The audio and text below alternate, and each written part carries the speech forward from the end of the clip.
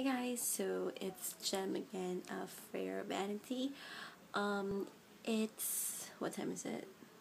It's 7:35 a.m. here in Manila, and I just finished taking a shower. Unfortunately, um, when I you know um after I finished taking a shower, and then um you know, I was about to change to work clothes already, I received a text message from my office mate advising me that it was declared that our company declared that we're not going to have work today because it's raining due to the heavy rains. Um, it's weird because it's been raining nonstop, but they said that there's no typhoon coming. It's just the monsoon something blah blah blah. I don't know. I really don't know, but it's raining nonstop here in Manila and it's it's a bit scary if you ask me because um what time is it? Yeah so it's 7.30 something 7.36 but if you look outside okay hold on.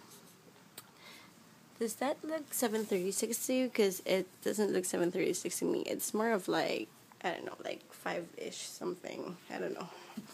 But yeah, so there's no work today, and I'm already up because I've already taken a shower and I don't know, like 15 minutes ago, I was so sleepy, but because of the water, because of my shampoo, my mint shampoo, I am now wide awake and I don't know what to do and I don't know, it's just too early for me like to blog or to edit videos, so I decided to vlog.